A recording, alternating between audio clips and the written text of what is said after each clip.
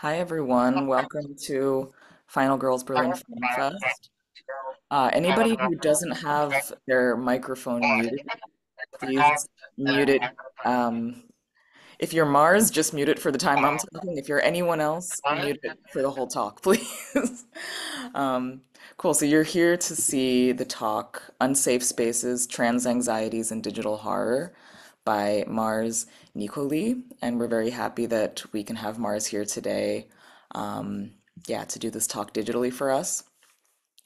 Mars Nico- Nicoli, he, him, and ze hir pronouns, is a PhD candidate at Sheffield Hallam University with the research from Transsexual Transylvania Transgender Perspectives on Horror Film and Television, and is part of the organization team for the horror conference Fear 2000, which Ellie and I are both fans of. He previously studied film at the University of Roehampton with a master's thesis on transmasculine voices on on transmasculine voices on mpreg fan fictions in the Good Omens fan fandom. All right, very specific, very niche. he balances academic research with artistic output in many forms, currently co-running a queer speculative art anthology zine as part of the Fairies Collective. Ze has also published prose and poetry in English and Italian, and here short film, Adam and Steve, premiered in 2019 at the Vinox Film Festival in Berlin. Wasn't expecting that little twist at the end. All right, I'm going to hand it over to Mars now, and after the talk, we'll be back for a Q&A.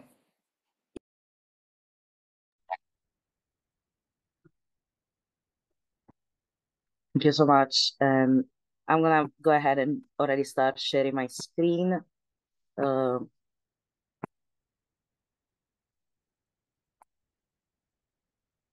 uh, yes, so um, welcome to my talk, Unsafe Spaces, uh, Trans Anxieties in Digital Horror. And a huge thank you to the Final Girls team for letting me catch up with this digitally as I couldn't present in person uh, at the festival. Uh, as mentioned, I am currently conducting my PhD research in media and cultural studies on transgender perspectives on horror.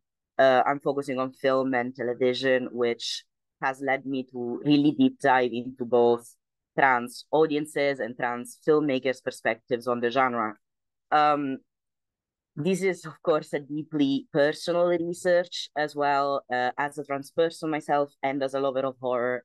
So all of my research is coming from a very personal place where I am discovering more and more about myself as I find out more about others.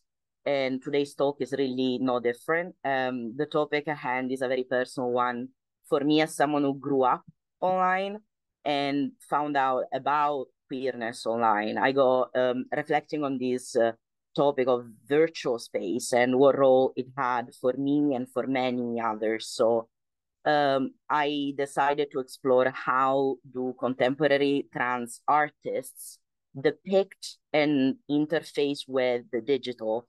And uh, you'll notice I am talking here about artists, not filmmakers specifically, because while my investigation did start from film and from my PhD, I quickly found that across different art forms, we are often saying the, saying the same things and poking to a shared uh, feeling. So uh, while my main PhD research focuses on film, I'm trying to embrace a more broad approach, uh, which has been allowing me to think about these social themes and how they resonate with us.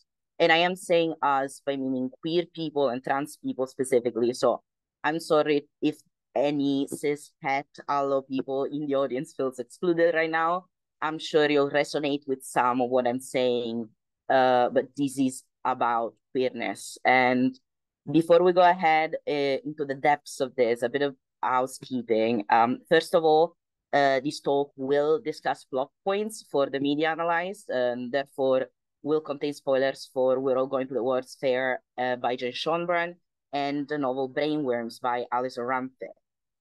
Also, of course, we're here. It's a horror festival, but I still feel the need to specify that uh, this talk does cover some sensitive topics uh, that might go beyond more classic horror themes. So, uh, specifically, uh, traumatic and sensitive themes, uh, uh, all of what I am warning for is just discussed, not graphically shown. Uh, but content warnings for discussions of transphobia, self-harm, uh, grooming, abusive family dynamics, incest, parasites, extreme unsanitary sexual practices, cults, and radicalization. Um, uh, before we get to these fun things, uh, I'm going to give some background context to the concept itself of digital horror and the way I'm approaching it, as well as some background history of transness online. So, uh, when I personally talk about digital horror, I am referring to a category which is more emotionally understood than academically defined, looking at horror communities communities effort to define it we can look at TV tropes uh, attempt, uh, which define defines it as preying on the beloved experiences of your past and inherent oddity and vulnerability, both to malevolent users and glitches of the digital worlds you made them in. Digital horror is a subgenre of horror that derives its scare factor from disturbing the memories of the viewer. Um, so for TV tropes, the horror in digital horror is the sense of uh, nostalgia for early 2000s to 2010s uh, uh, internet and the dangers within it. I think this definition is getting at something, something similar to another community source definition, which is from the aesthetics wiki. Uh, this traces the genre as a development from analog horror, so, for example, found footage films like The Blair Witch and Skinamarink. Uh, digital horror then would simply be updating the technology to a new nostalgia, but rely on a similar appeal. And the reason why I'm starting from these online sources rather than some more academic definitions is that uh, perhaps in a meta analytic way, uh, at some point I decided to simply Google what is digital horror. And the aesthetics wiki result is the first thing that came up. Uh, so more of an aesthetic focus rather, rather than a narrative focused answer. And this either tells us that Google is broken, which in part it is, or rather points to the elusive nature of digital fear, which is more of an aesthetic, of a vibe, than it is a rigidly definable horror category. In a naive way, uh, these definitions attempt to capture the effect a set of media productions have had on the people writing. And looking at more academic approaches to the topic, I didn't quite find any that came closer to what I was trying to define and look at, uh, what I was connecting dots about, especially as it related to these trans narratives. Um, here are a couple of definitions. So Timur Be Bekmambetov Betov suggests the, the term screen life to describe films such as Unfriended, where the entire narrative takes place on a screen.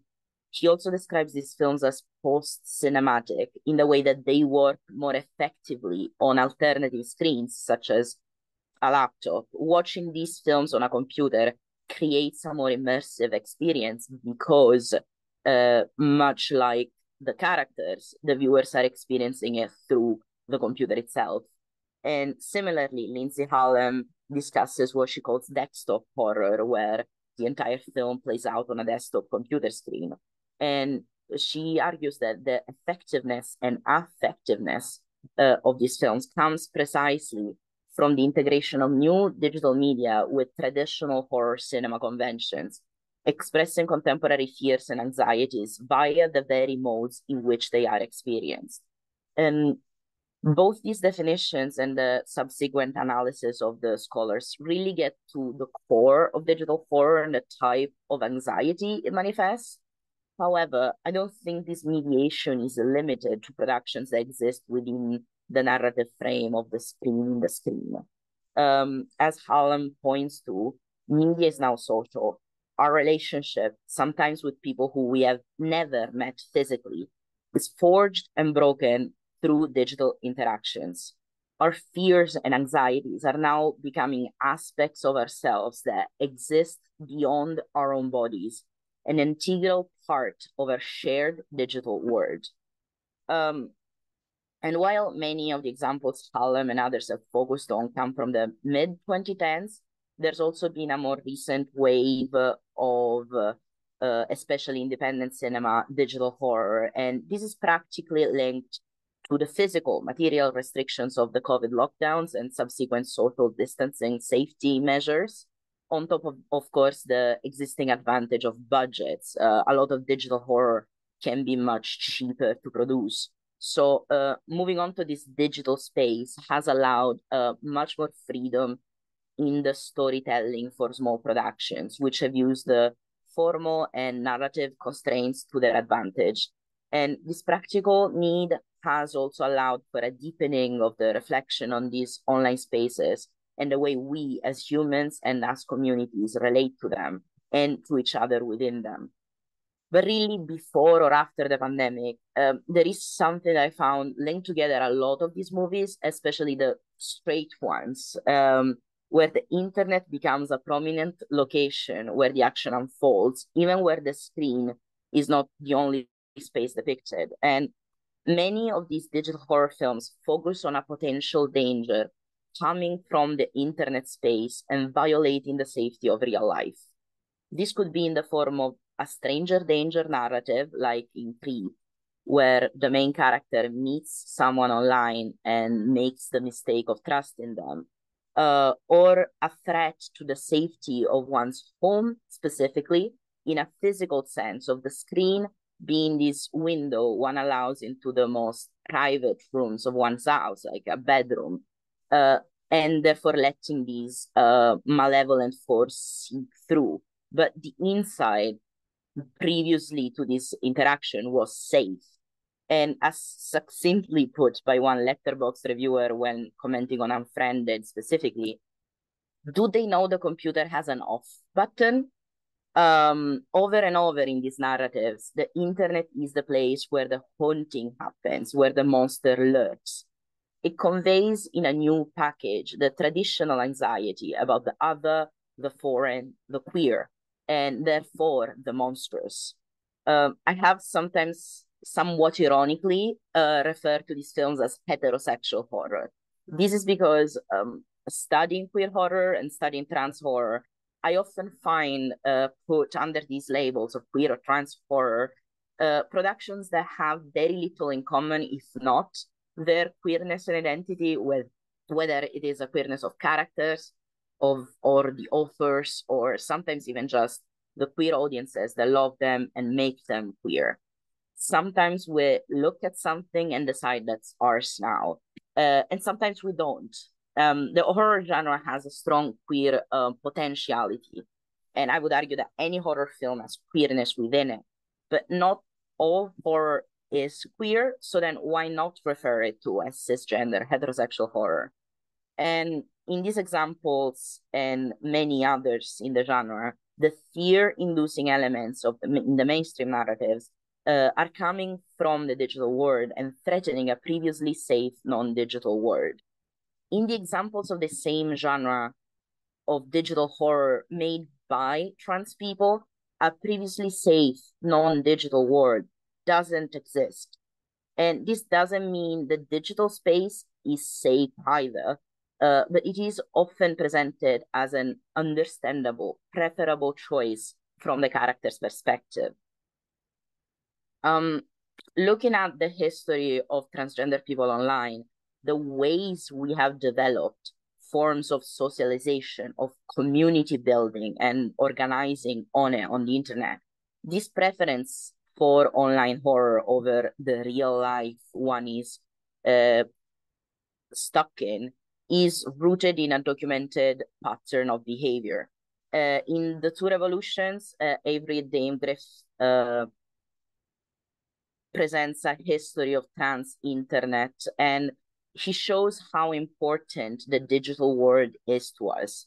Um, he emphasizes how the internet ushered in a second revolution, the rise of the term transgender, which evolved from one self identity among many to a collective umbrella over the entire community. So, the contemporary trans movement, as we know it now, with all its accomplishments and its failures, could not have come to be without the internet. Uh, Dame-Griff also recounts uh, personal experiences of growing up online and how real life isolation meant that he often was the only life raft. Um, he says, given the risks inherent to being trans in the American South, the internet was a lifeline for many members. Even after I moved away, it remained a key resource and support system for me. The role of the internet, in my experience, was by no means unique. Online, trans youth found and supported each other. For this generation, the internet was an increasingly quotidian part of their lives.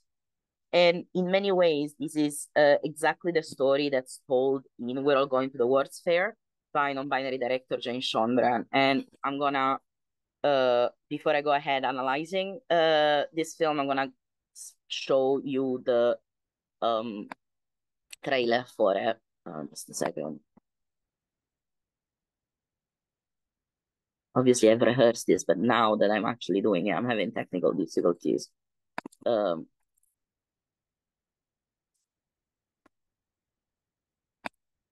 post sharing. Um,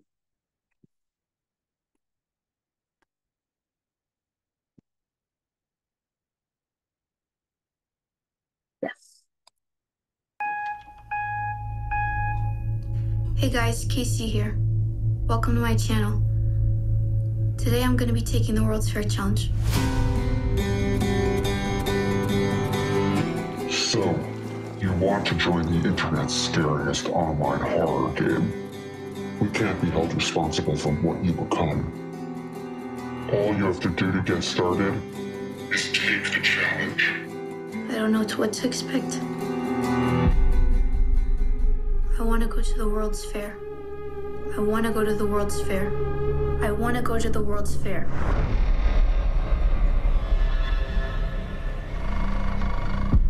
This is for serious players only.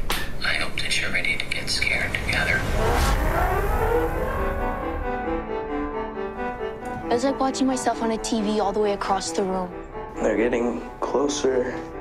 I think I'm turning into something terrible. I'm going inside the video through the computer. It's gotten worse. I need to figure out what's going on.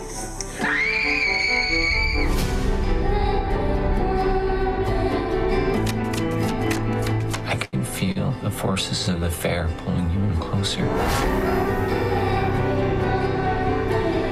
I see you there, even if you won't show your face.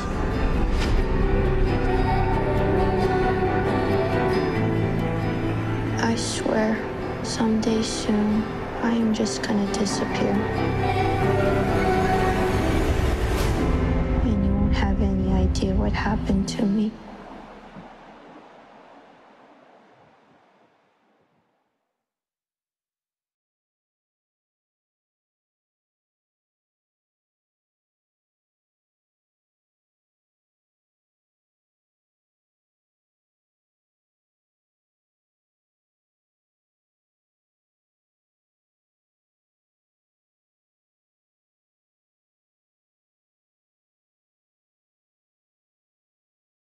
And neglected.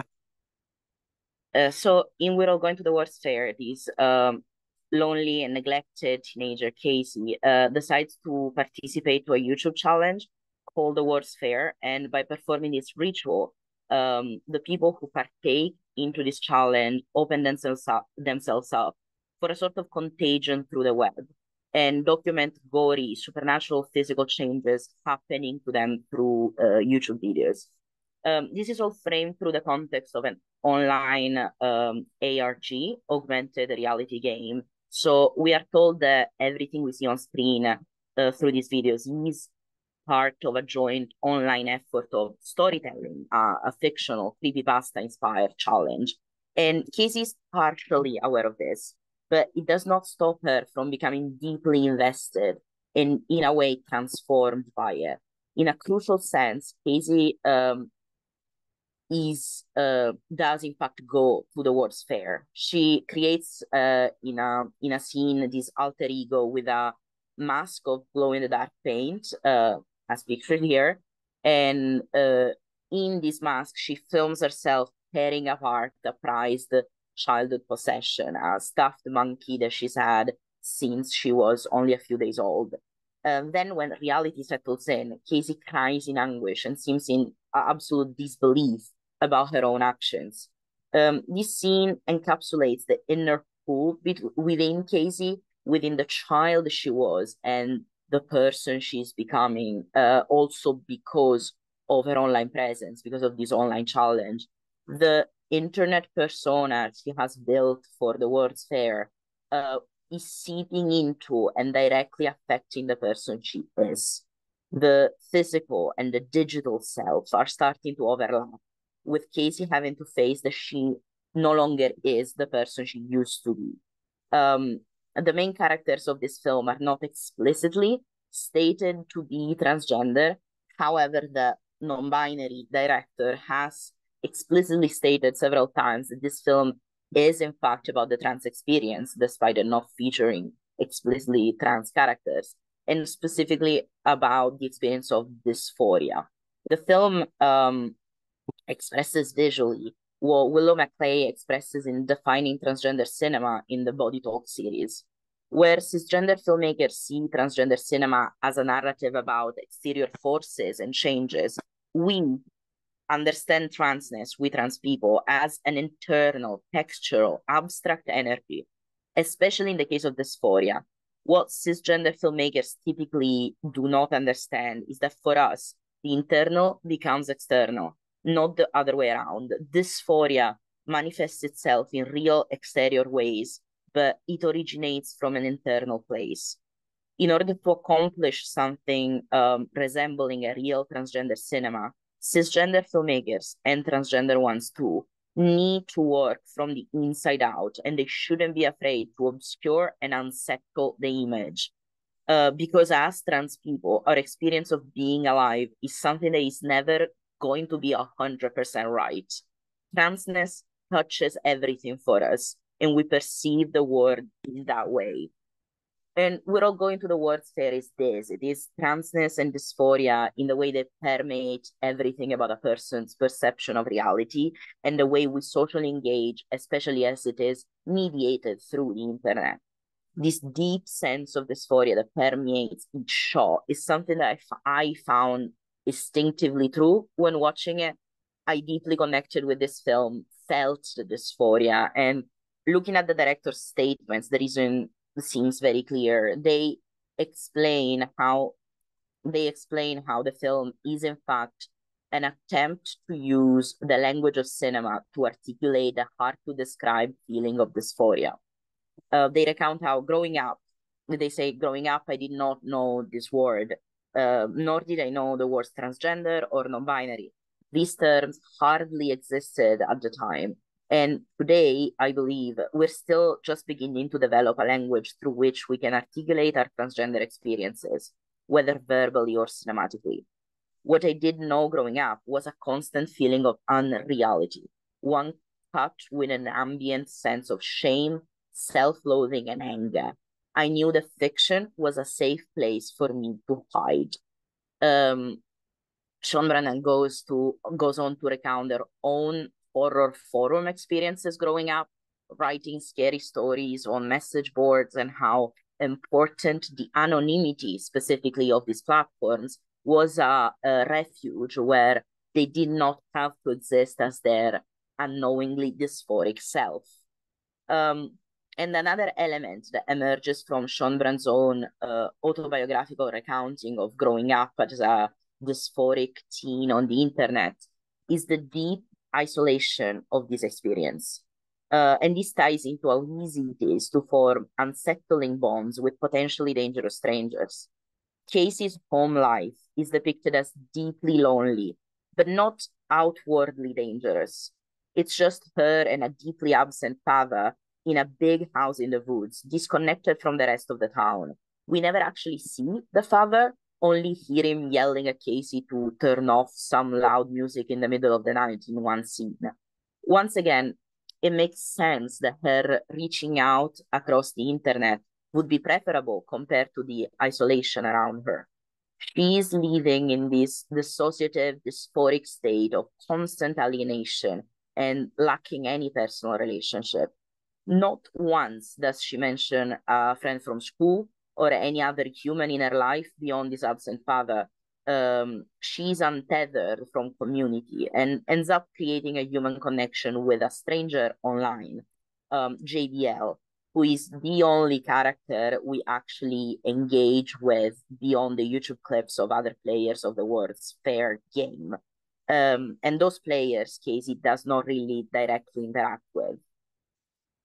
JLB is uh, a much older man who offers to guide her through the lore and the dangers of the online mythos of the World's Fair, but really often uh, pushes her further into the game and repeatedly watches as Casey live streams herself uh, sleeping all night. Beyond some accusations and uh, very emphasized subtext, there is no explicit narrative moment where JLB uh, actually harms Casey. However, the grooming narrative and the uncomfortable dynamics are very clear and seem themselves partially autobiographical. Again, recounting their experience as a 13 year old on horror message boards, Schoenbrun talks about chatting with this 30 something year old man who posted under uh, a similar acronym, WAJ, and who started commenting on their stories. While they never met in person, they started chatting very frequently, and the director said the film was heavily influenced by uh, something this person once told them. Um, specifically, uh, says, he told me the vampires were real, that his boyfriend had drunk his blood, and now he was turning into one. He told me that he could feel the changes starting, that he was afraid of what he was becoming, but that it also felt good. Um, I remember sitting in math class the next day playing this over in my head. I knew the WAJ story wasn't true, but part of me sort of wished there was. I thought, wouldn't the world be a more exciting place if this sort of transformation were possible? And in a mirror of the director's um, personal experience then, the World's Fair Challenge is transgender in its offer for a radical physical transformation, which Casey is attracted to. She knows this might be dangerous and compares the challenge to a horror movie, but also says she likes horror movies and it might be cool living in one. Um, this uh, lingering fascination with the idea of transformation, as painful and horrific as that might be, uh, can be linked to what Prosser explains about embodied transness in his book Second Skins. Here he examines transgender narratives, putting an emphasis on self-determination and autobiography. Uh, he notes how transness inherently depends upon an initial crediting of this um, feeling of dysphoria as generative ground. That is, for Prosser, transgender reality always starts as a subjective realization uh, and the feeling of dysphoria before being acted upon in the act of transition. Skin, as per the title of the book, is central to this narrative of the self. It is an expression that comes up over and over, even in the autobiographical accounts Prosser explores, uh, linked to figures of speech that show up, such as feeling comfortable in one's skin, but also more fleshly embodied in autobiographical accounts of self harm in the form of cutting the skin, uh, as well as transgender people using the art of tattoos as a form of exerting agency and control over a body that does not feel like one's own. Um, so this desired transformation, be it vampirism or a mysterious online curse or self-harm, um, can become a transformative, empowering experience to those who do not otherwise have any control over an unwanted body. This is what happens when transgender people do not have access uh, to hormone replacement therapy or affirming surgeries um, to me, this idea expressed by both Schoenbrun and Casey, the, the world would be a more exciting place if transformations were possible, or it might be cool living in a horror film. That encapsulates the experience of transness in horror. To exist in a horror movie would be cool, would be better uh, than the tedious daily reality of embodied pain that comes with transphobia and with dysphoria. To see one's skin mutate, even in horrifying ways like the World's Fair promises, is better than living in this body.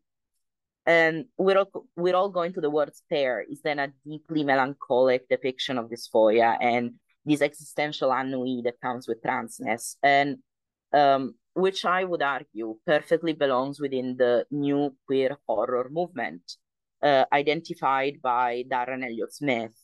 He looks at the contemporary waves of queer horror and defines the new queer horror movement as representing subjectivities that are much wider in scope, taking an, a broad spectrum of gender and sexual identities compared to what have been queer horror before, that offer an enhanced understanding of an emerging sense of community in queer horror fandom and filmmaking. New queer horror designates horror that is crafted by directors and producers who identify as lesbian, gay, bi, queer, transgender, non-binary, asexual, intersex, or work that features homoerotic or explicit homosexual narratives without LGBTQ plus characters. So this could be anything really. It's not a genre, it's barely a sensibility. And yet it still makes sense to group them and analyze them together. I believe because of the crucial difference in relationship with the monster compared to straight horror. Queer horror comes from an understanding of the monster, a recognition of us, the queers, in it, uh, vampires, for example, have often been a stand-in for androgyny, gender ambiguity, and homosexual desire. Uh, what I tend to refer to for convenience again as heterosexual horror tends to lack this same recognition. Inherently, this recognition of the self in the monster and the monster in the self is part of a queer sensibility. And therefore, Elliott Smith points to the way this new queer horror, which is allowed to textually engage with queerness when depicting the monstrous turns the camera on itself, on the queer. So no longer bound by the need for metaphors to represent queerness, it can now highlight the limits of a metaphorical understanding of queerness in the horror film, in an age where its presence has become unambiguous. In, re in recent years, uh, Elliott Smith notes, what we here term queer horror has turned the focus of fear upon itself, on its own communities and subcultures. Queer horror explores queerness to configure and manifest the struggle for recognition of all queer of all that queer culture represses or oppresses. It is often looking at an internal turmoil or uh, whether it is inter-community struggle or a personal journey of horror. And uh, what I have found as a great example of this new queer horror is also the short films anthology Cybergrime. This is where we go into another um, trailer. Hopefully we won't have technical issues again.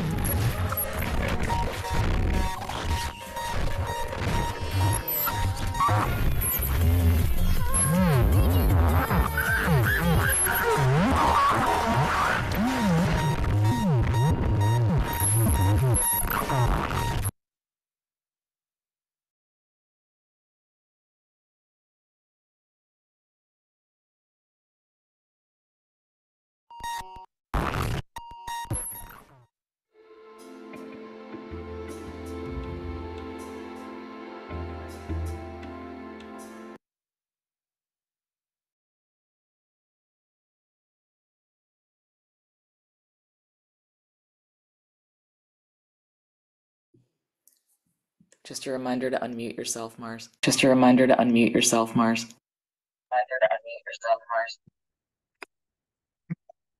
Thank you. Um, I was absolutely gonna forget again.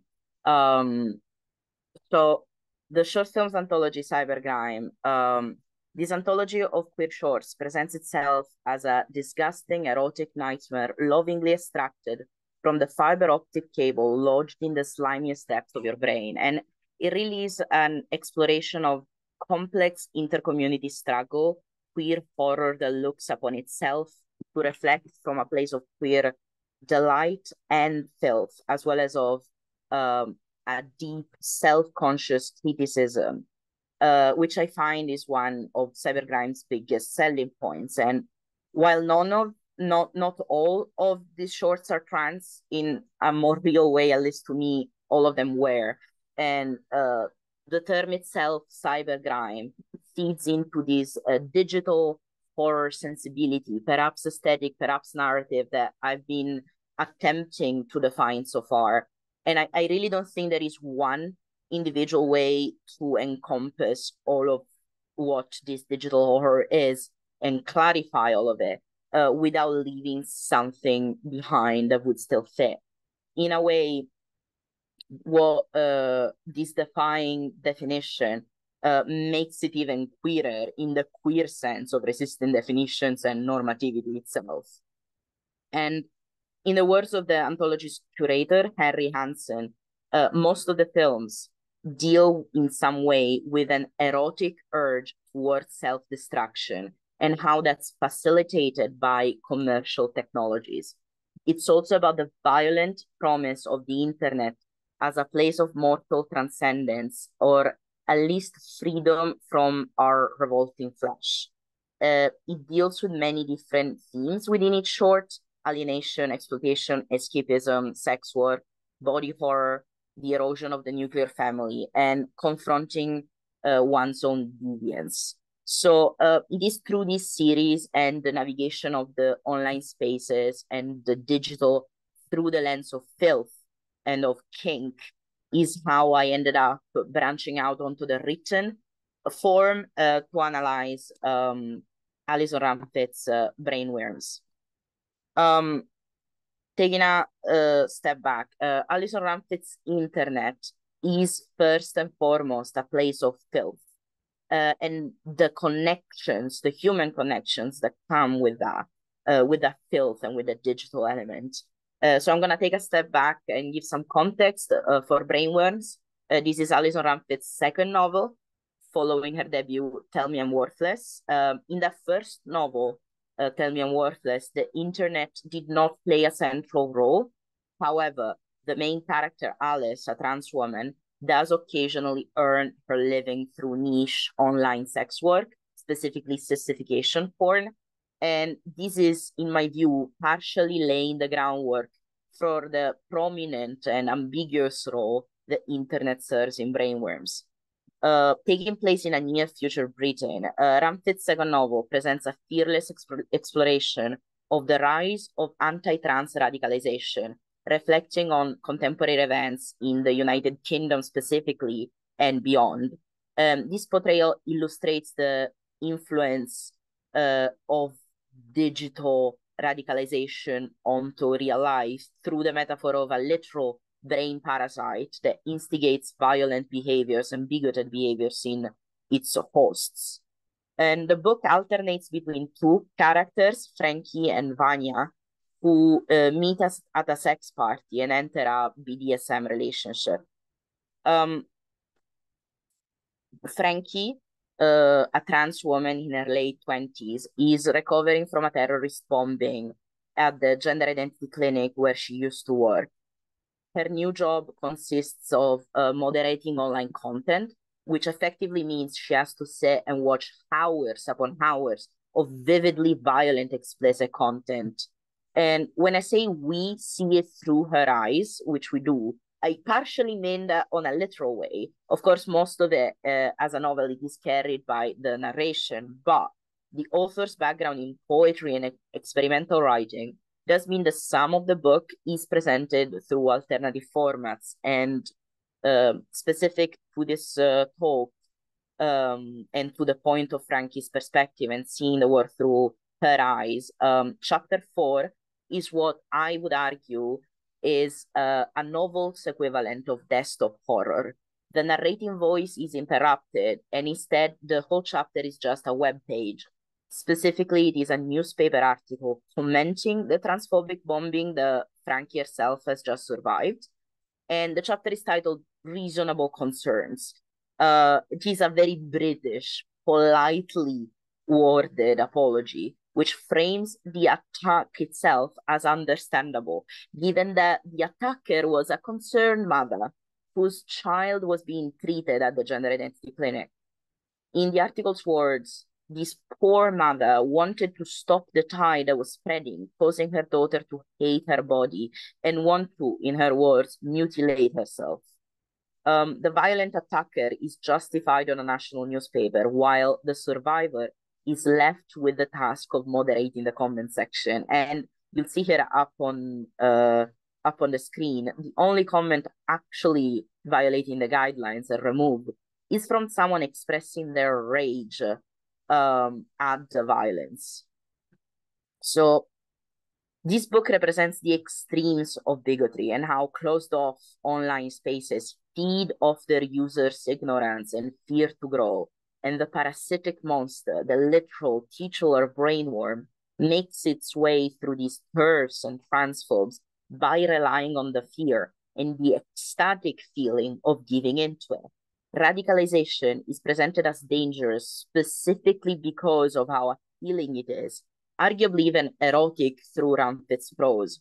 Following the theme of kink, of BDSM, and overall sexuality prominent in the book, fear and desire are faces of the same coin. And here is where we can really see the internet's duality in Rumfitt's work as well through um, other main character of the book. Um, Frankie's partner, Vanya, uh, is younger, 19 years old, and they're non-binary. Through flashbacks, the reader soon finds out that they recently escaped an abusive household they have uh, very religious right-wing parents and an older brother who was sexually abusing them throughout their teenage years. All the while growing up in this environment, they are also struggling to figure out their gender and their sexuality. Uh, at age 15, Vanya ventures on the internet looking to learn more about their sexuality, something that, of course, they cannot safely explore in their real life. Um, for some the obviously apparent reasons of the family's constrictions, but also because of the added issue that they have developed a kink for tapeworms. Uh, they're attracted by this idea of having parasites burrowed inside them. And quickly they find a dedicated online forum, join it anonymously, lying about their age. And here we have another literary form of desktop horror, which uh, replicates the forum's uh, chat system when when they are asked whether they are a boy or a girl, um, this is the first time Vanya is free to explain their feelings. They reply, "Not sure I'm a girl, but sometimes I'm a bit like a boy." To which the friendly stranger very cheerfully replies, "Oh, so like non-binary, cool," and then swiftly moves on to get their phone number. Here on this uh, forum, they seem to find the first perhaps safe space in which to exist freely and without shame. So, what seems to them as an effective safe space. With a complete lack of real life safety, this stranger on the internet is all they have. And the same friendly user then grooms them into a cult, breeding a god brainworm entity essentially made of bigotry and feeding off people's hate. This is the same hate worm behind a lot of the online fundamentalism we have seen through Frankie's eyes, including the gender critical so Mumsnet, led uh, by a character who is a legally distinct, absolutely fictional, uh, beloved British uh, children's books author.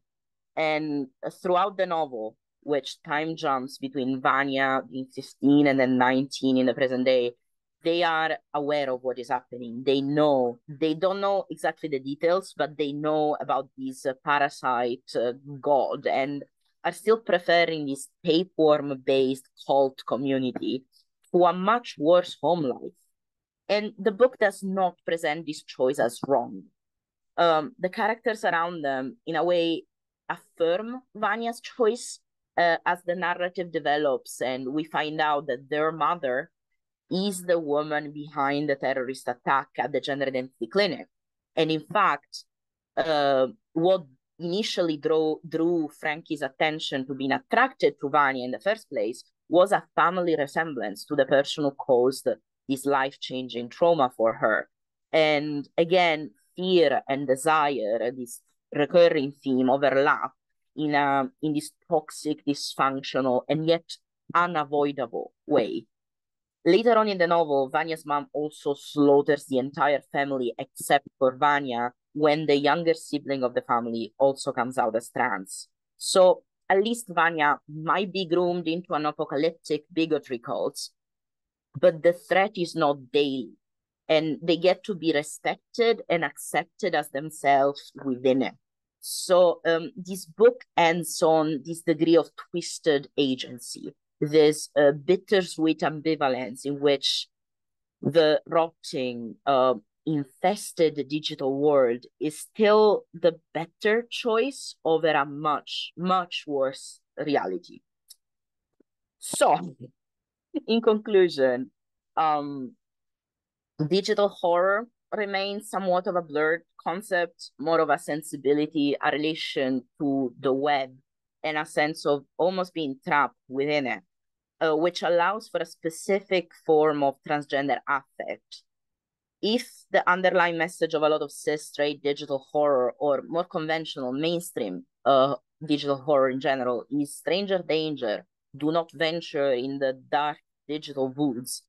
The fear underlying this trans horror is a more cynical and bitter one more of a helpless fear a problem without a real solution an expression of that deep-seated feeling of not belonging anywhere that comes with dysphoria if you remove the monster worms, the haunted YouTube playlists, what is left is a reality which is much harder to face.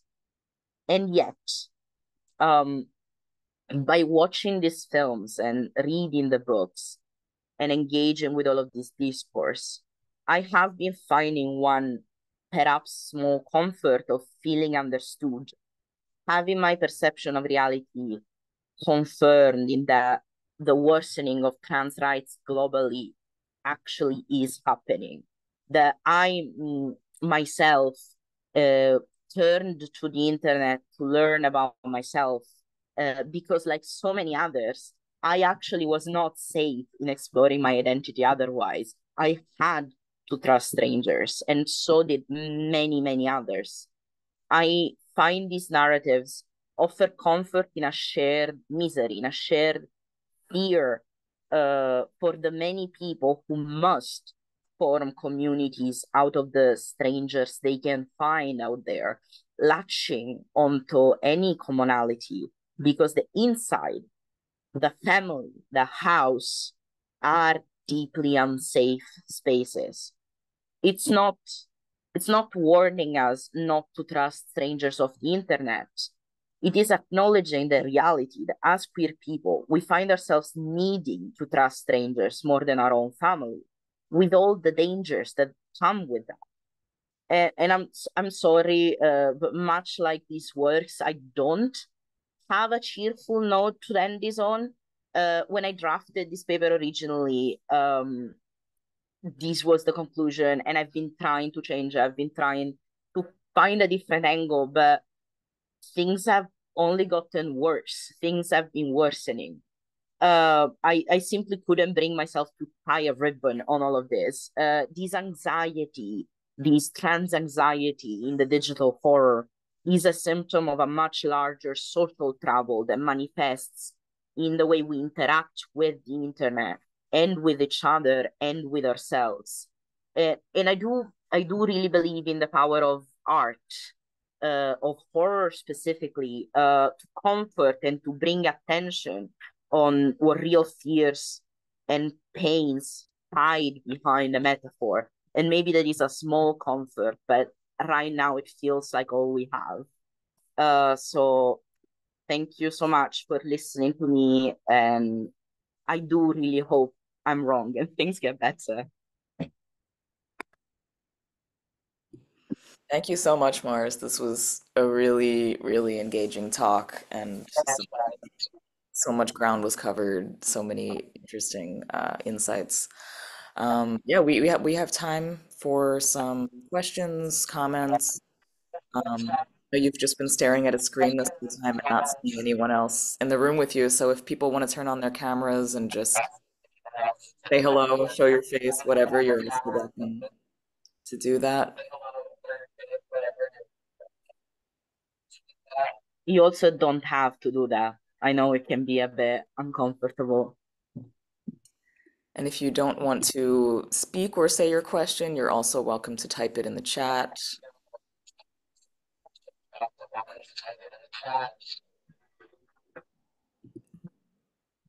Somebody says, thank you, that was a brilliant talk. I agree. Thank you. I really loved um, that you make this distinction um, with hetero horror, because of course we're so used to hearing the term queer horror and designating that as the the thing that needs to be categorized in this way. But um, I really loved this idea that hetero horror is horror in which the self doesn't identify with the monster or something like this. Yeah, like the monster with the self. Um, yeah, I don't know if, if you want to say anything more about that. I found that. Yeah, and of course I had a bit of trouble. Yeah. Sorry, I think I'm experiencing a bit of that delay, but yeah, I, I did find I did have a bit of trouble with trouble with defining that.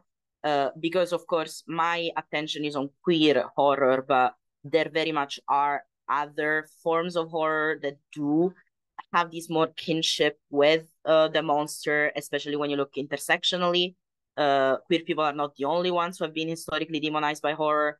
Uh, Jack Halberstam uh, writes in uh, Skin shows about how horror and gothic has been also used uh, both as a stand-in for queerness, but also as a stand-in for Jewishness, um, as well as, uh, of course, there is a lot of uh, black horror that, like, historically has used race or like horror has used race or disability or any kind of diversity. Uh, as a stand-in for the other. Uh, so I'm looking at it from this one specific perspective, and from that perspective, uh, definitely noticing patterns. Uh, but it is kind of the reason why I insist on it being a bit of a provocative expression rather than a formal academic one uh, is because it is somewhat limited in its intersectional width, um, but uh, useful in the way we reflect on queer horror. Because what does what does Chucky have anything to do with We're All Going to the World's Fair, right? Uh, but they're both queer horror and they're both brilliant. Right. For people who don't know, the director of Chucky is out is openly gay also. Uh, also has uh, from Seed of Chucky onwards uh, a prominent non-binary representation with the character of Glenn Glenda, who is also played uh, by uh, a non-binary actor in the TV show. Yeah, I need to watch more of the franchise. I'm not all caught up yet. Here's another, there's a few other comments in the chat. Um, Henri says the Cybergrime film seems so experimental. Thanks for introducing us to this. Easy says, thank you for this talk. I feel like I haven't seen much deep analysis of We're All Going to the World Fair. Your breakdown of it was very interesting to listen to.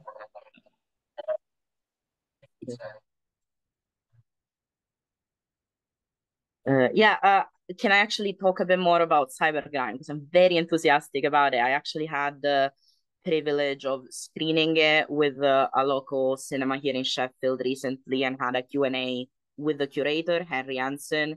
If you're interested more in Cybergrime, I would recommend contacting Henry directly.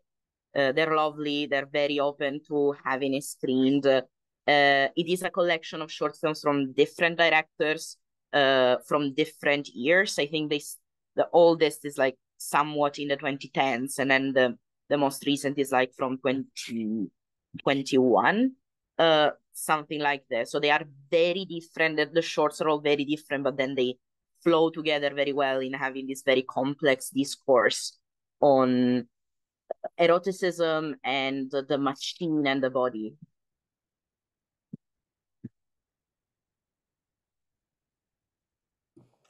So Cybergrime is it's a feature film that's compiled like a, a compilation of shorts, is that right? Or is it a is it like an evolving series that's growing still? Um, the short the, the shorts exist have been produced completely independently, and then Henry Hansen, who is a filmmaker and curator, has contacted all these uh, short film um, filmmakers and put it together in a package uh, that can be screened all together. Cool. Yeah, I saw that Monster Dyke was in there, which is a film we showed a couple years ago in our queer horror program. So I'm really curious to see what else is in there and check it out. If anyone has any further comments, questions, anything you want to share.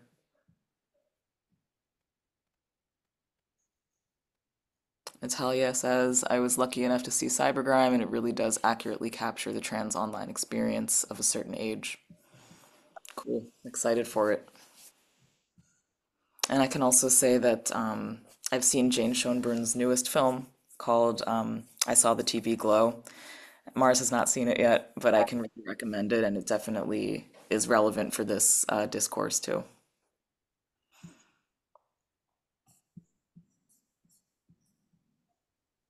I can't wait. I'm so I'm just buzzing about it. Uh, you want a repetition? I was just uh, the title is called I Saw the TV Glow. I'll just write it in there. It it was just at Berlinale, so you're not gonna find it anywhere super soon, but I guess in a few months, maybe it'll be streaming somewhere. All right, if there aren't any further questions, I think the trailer, the, the official trailer came out recently. yes, that's true.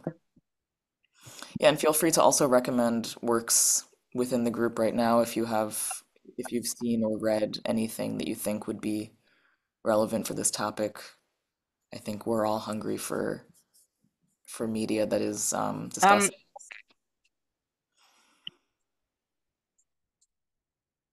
something that I've been trying to work into the talk, but then it would have been way too long, uh, because it requires quite a bit of background context, is also this um web uh, comic. Uh, it's called What Happens Next. Um, and it's it's by a transmasculine author, and it deals with this fictional uh Tumblr true crime community within which a murder gets actually commit like committed, and then all of these uh, very idiosyncratic personalities who, if you've existed on 2014 queer Tumblr, you know all of these people personally. Um, and I think that was an interesting perspective that I didn't manage to balance in, but also because it comes from a trans masculine perspective. So uh, it so happened that the two main works that I discussed today are both from uh, trans feminine authors. Uh, so I do think uh, reading this can offer more of a, a different angle on the same topic. Cool. I just shared a link, which I'm hoping is correct. Is that right, Mars? This what happens next dot webcomic.ws? Yeah, cool. I found it. Yeah, yes, yes. And Henri recommends Bad Thing, which is something that we might screen at some point. Ellie and I have to discuss that. Um, which, yeah, it does have. I know for sure of one trans woman in the cast. If there's more than one in the cast, that's good to know. Then I will definitely uh, look into that as well. It was a great, it's really, really fascinating queer horror film, kind of like The Shining, but with uh, kind of queer fe- female.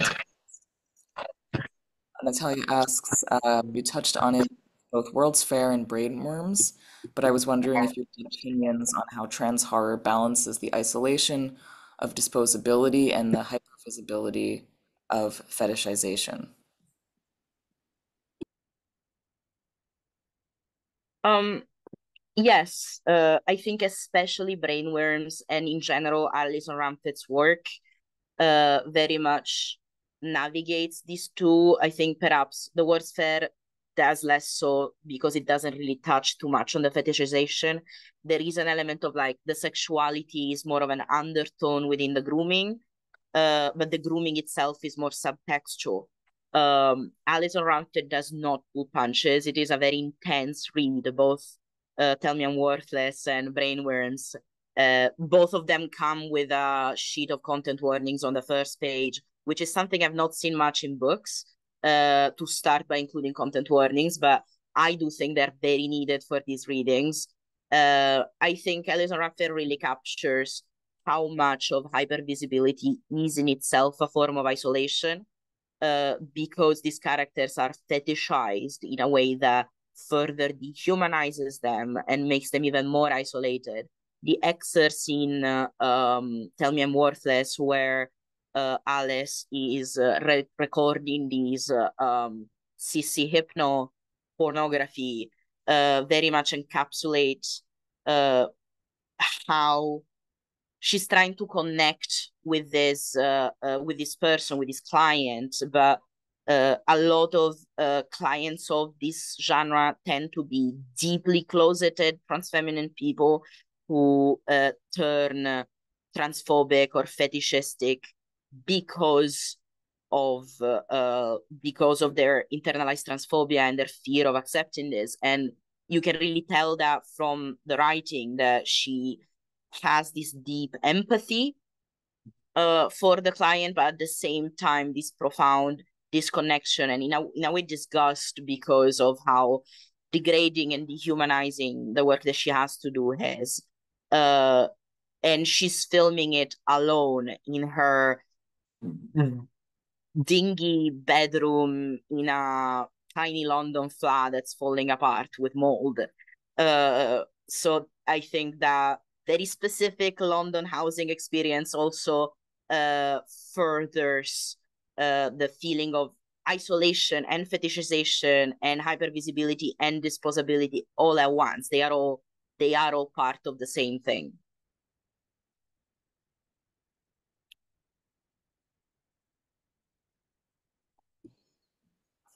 I have uh, one more question.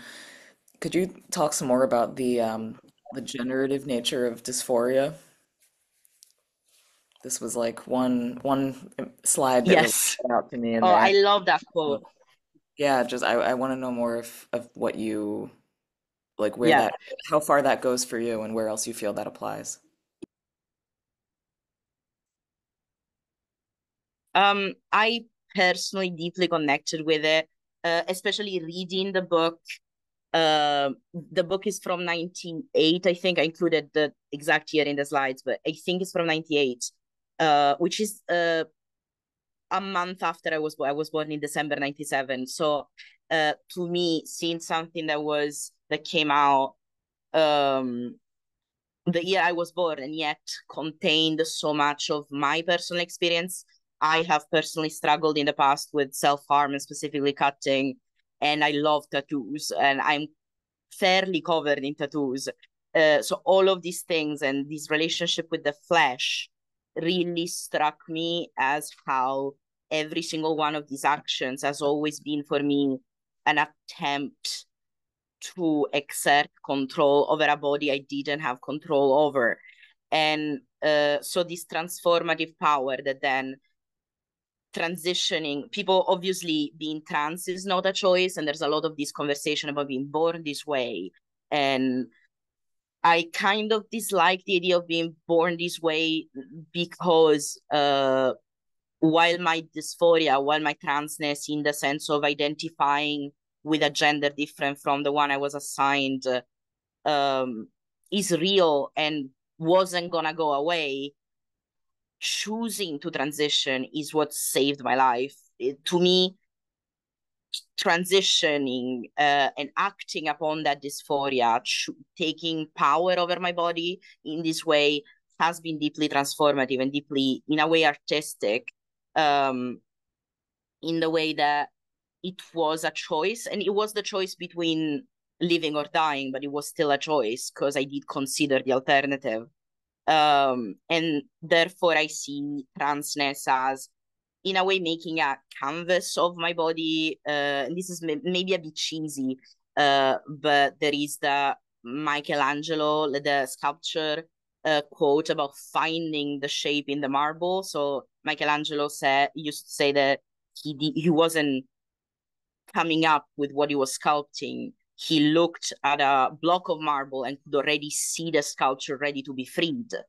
Um, and to me, that's kind of what the generative power of dysphoria is is that I look at my body and it is just this block of marble and I get to create what was already there, what the body that was meant to be there was. Well, thanks for sharing that. And I think a lot of the these really fascinating works of horror are also great evidence of of the the generative power um, yeah, because the super challenging and destabilizing and uh, exciting art is coming out of it as well. Um, so thank you so much. I think I think that's what specifically sorry. I think that's what specifically uh Monsterdijk is getting at the short films within cybergrime is the whole uh creating this uh creating this new life and uh, the sculpting element of horror and finding a monster love in a generative way. Yeah. Oh, absolutely. It's a great film. And I don't know if it's anywhere online for everyone to see, but if you can find it somewhere, it's called Monsterdijk and it's a great, quick, like five minute short. Um, that's all kinds of kind of like trashy, aestheticized fun, but it has like a lot of uh, really meaningful, powerful content behind it. So, um, yeah, thanks so much, Mars, for being here. And thanks to everyone who came and participated. And the talk will be available soon, I guess in the next couple of weeks.